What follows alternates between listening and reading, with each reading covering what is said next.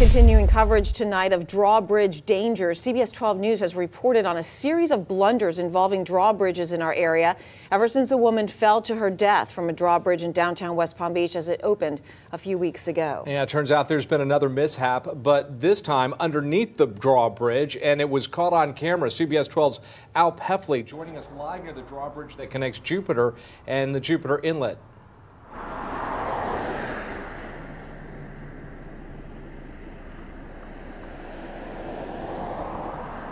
Jim, this small drawbridge over the Intracoastal Waterway is used by countless boaters in our area. Over the weekend, this drawbridge nearly had deadly consequences for the people in one boat. Cell phone video of what happened was posted on social media. Oh my God. Get him out, get out.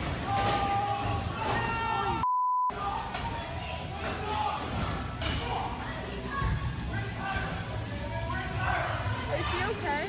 This video shows the frightening situation some boaters found themselves in when a drawbridge operator at the Cato Bridge raised the bridge, partially crushing a boat underneath. I think that's pretty crazy. Like, I've never seen it personally, but like, I, honestly, if I was on the boat, I'd be really scared. People who like to catch some sun near the drawbridge say they've seen the video on social media and they are shocked. It's actually uh, very terrifying because I was like, oh, that's funny. And then, no, it's actually really terrifying and dangerous. It is scary that that it did crush the boat and they were in danger. It appears the boat stopped under that portion of the bridge to take cover during heavy rain.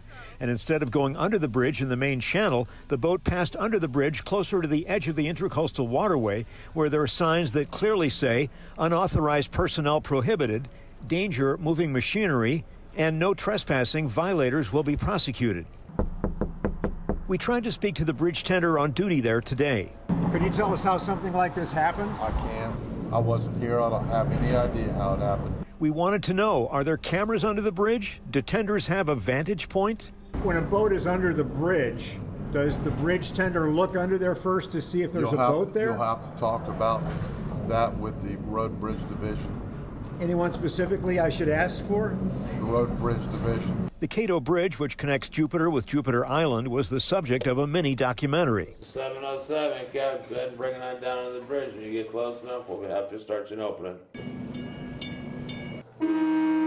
People nearby realize how lucky the folks on the boat were to escape with their lives. Luckily, they jumped off, but luckily, you know, they they got off safely and didn't get crushed by the thing. And as you saw in the video, the bridge tender referred us to Palm Beach County Roads and Bridges. I called there. Someone who answered the phone said that office is closed on Mondays. I also called Tequesta Police. They told me Jupiter Police are responsible for calls in and around this bridge. I called there. They said they had no incident, no record of this particular incident. Life or death, that's what's on the line for confessed Parkland school shooter Nikolas Cruz. Jury selection for the sentencing phase of this trial began in Broward County Court today. Our Lexi Nault was there and tells us this could take months. Well, this trial's been a long time coming, and it looks like we could be in for a very lengthy process. We're expected to see about 1,500 jurors come through here. Of that pool, only 12 will be chosen, and those 12 will ultimately decide whether Nikolas Cruz should live or die. It's been more than four years since Nikolas Cruz went on a shooting rampage at Marjory Stoneman Douglas High School, killing 17 people and injuring 17 others.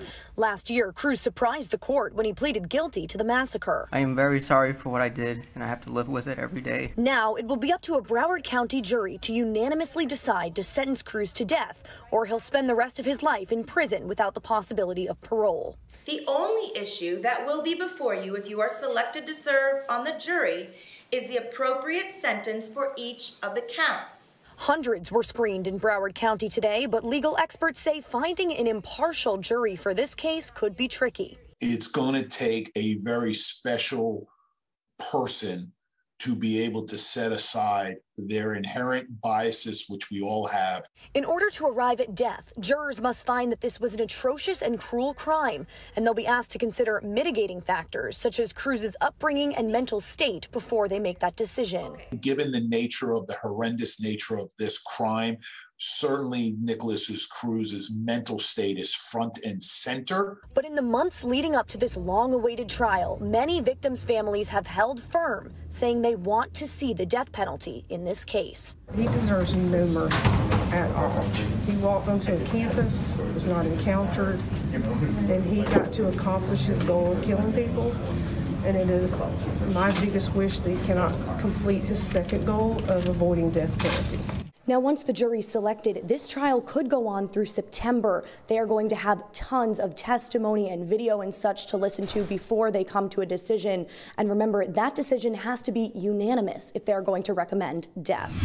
Things should be getting better. COVID 19 rates are low. Companies are open for business, and there are plenty of jobs to go around. But as CBS 12's Lena Salzbank is discovering, thanks to skyrocketing prices, too many families are still struggling to put food on the table. During the pandemic, with so many people out of work, many of our local food banks were working overtime to help put meals on the table for families that were in need. Right now, there are still plenty of families that need a helping hand, but right now it's for different reasons. I feel like we're headed into another crisis. So we came out of COVID. Of course, we were very busy during that time, um, but it just really hasn't stopped. And now we are hearing from individuals and seniors that are really having a tough time making a go of it financially right now. Food banks are seeing another surge in customers thanks to rising rents and spiking food and gas prices. It's been over probably the past six weeks that we have really heard a lot from individuals that they are really having a tough time. Jamie Kendall, the CEO of Palm Beach County Food Bank, tells CBS 12 News seniors are getting hit especially hard. I received a letter from somebody that used to be a financial donor to the food bank. Explained that she was an 85 year old whose rent had just increased by 50%. And she herself, well, used to be able to make financial donations, modest financial donations to us, couldn't do that anymore because she didn't know if she was going to be able to buy food for herself. Altogether, the Lake Worth Food Bank gives out more than a million and a half pounds of food a month, enough to feed 100,000 people, but they could use even more. Rice, uh, canned vegetables, canned soup, canned protein products, peanut butter.